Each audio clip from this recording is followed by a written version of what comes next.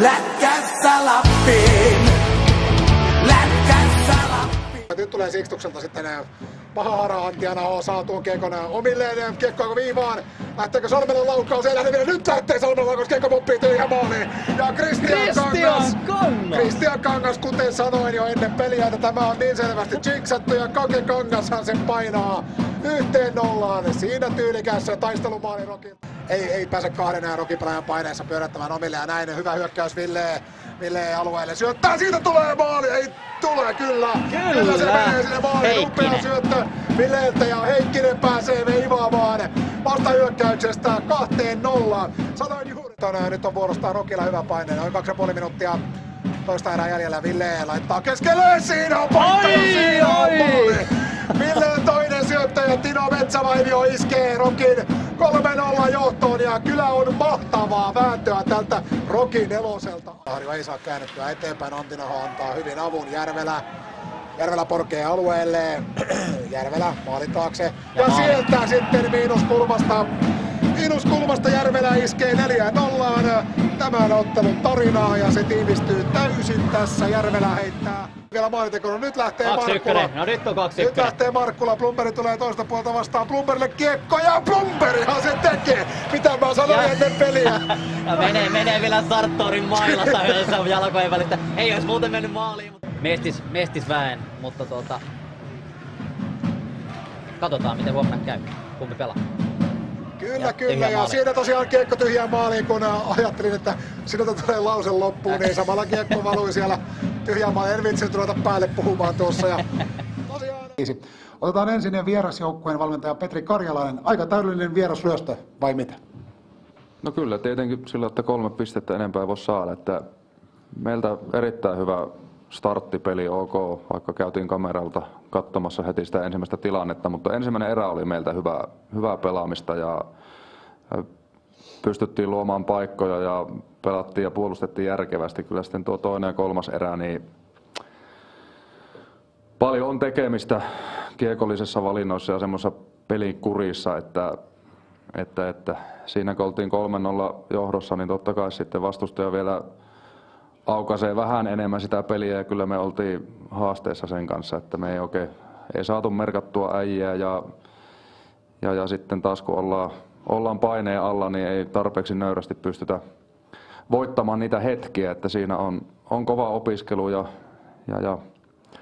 Mutta kolme pistettä voitto täältä ei koskaan helppoa ja ajatukset kohti huomista. Tota sellainen kysymys vielä. Mika Partanen tuli teille tähän otteluun apuun ja pelasi pyyttättävän pelin. Mitä mieltä olet liigaperuulin mukaan tulosta? No Parrulta erittäin hyvä peli, että oli jo tuolla Turussa meidän mukana joku viikko sitten, joka sitten päättyi siinä mielessä huonosti, että sen jälkeen oli muutaman pelin pelikielossa ja hänelläkin pitempi loukkaantuminen alla ja, ja pelituntuma totta kai on puutteellinen, mutta erittäin hyvä sisääntulo sillä mikä on työnteko ja mikä on ilme ja lyö itsensä likoon joukkueelle ja tuli taas hyviä esimerkkejä sieltä, että miksi hän on liikapelaaja, että pystyi niillä hetkillä, kun on, oltiin paineessa ja Hermes vei peliä, niin pystyi voittamaan alueita, pystyi voittamaan isoja kaksinkamppailuita, tekemään järkeviä valintoja, että, että, että erittäin hyvä peli. Varmaan pelaaja itse ole vielä tyytyväinen, niin kuin sanoin, että pelituntuma on, on vajaa, mutta kyllä se sieltä tulee. Kiitoksia oikein paljon. Otetaan seuraavaksi kotijoukkueen valmentaja Antti. Lätkässä Lappiin. Lätkässä Lappiin. Komulainen, Komulainen pelaa viivaan, Salmela takaisin Komulaiselle. Kangas ja nyt ampuu ja Christian Kangas! Se on Ja ylivoimalla 1-0 ja kukapa muu? Kukapa muu. Juuri näin niin kuin sanottiin, että siellä on mies, joka haluaa nämä maalit Hermestä vastaan tehdä. Ja mennyt pään mukana. Reijola yksin kiekon kanssa ja nyt on, nyt on Reijolalta sitten karmea! Aivan- karmea virhe! aivan Aivan käsittämätön käsittämätöntä ja nyt sitten Oi, se hyvä. tasoitus tulee tällaisesta tilanteesta. Käänti siinä pelaa poikolla tällä hetkellä, mutta ei saa kiekkoa kuitenkaan alueelta ulos. Kestilä le- lensi siinä kun leppä keihäs, mutta saa kiekko kuitenkin pidettyä joukkueellaan vielä Rajala. Nyt lähtee Rajala kutia. Oi mikä maali! Se on Niko Kuiri, joka pistää Tittapo ylähyly läheltä ylös ja yksi kaksi ylivoimalla.